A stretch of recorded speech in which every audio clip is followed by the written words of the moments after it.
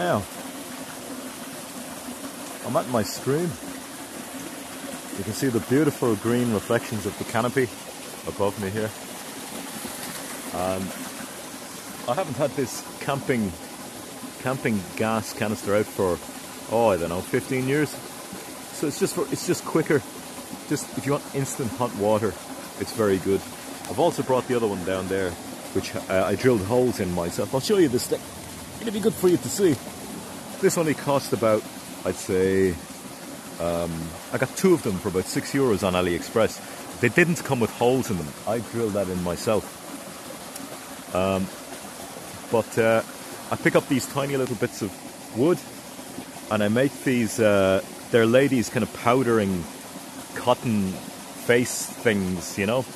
And basically, I, I um, impregnate them with uh, um, lighter fuel and then I, I melt a candle and uh, then what I do is I, I dip that into the into the candle wax in the saucepan and uh, then they take them out and let them harden. And basically, they are uh, waterproof um, firelighters. So that's if you want to take the time to do that. See, there's none on that side, so basically have it face the wind or away from the wind, whichever way you want. But today, I'm actually making cleaver tea. There's some cleavers there actually. To show you. Where are they now? There. Those are cleavers. Sticky backs. Cleavers. That's what they are. They're all cleavers and sticky backs. My camera's not great today actually. Don't know why it doesn't uh, focus. But I think this is ready now.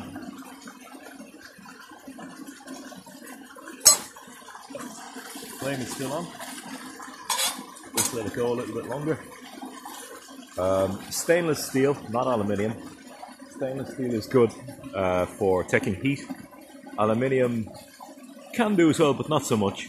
Especially, I forgot to bring out my drinking utensil, any kind of a cup or anything today. So I think today what I'm going to do is um, just wait till it cools down, turn off the flame, and then drink straight out of the straight out of the little teapot here. But I think I could do with. Um, oh yeah, I forgot to tell you that um, cleavers. Cleavers. Do I have any around me here? To hand. Cleavers are very good for um, detoxing the lymphatic system.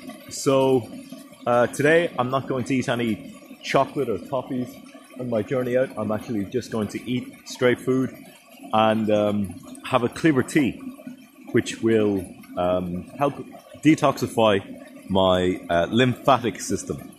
Uh, so basically, that's very good for you, and I, I recommend that you do the same. I'm just going to see. Can you see the cleavers here? Yeah, those are cleavers. They stick to your clothing. They're like the original Velcro. They're like nature's Velcro, if you get it.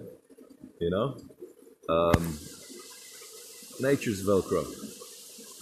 Let's see these here. These here are cleavers. And cleavers. Cleavers. Come on, cleavers. Yep. So that's it really. Just want to show you that.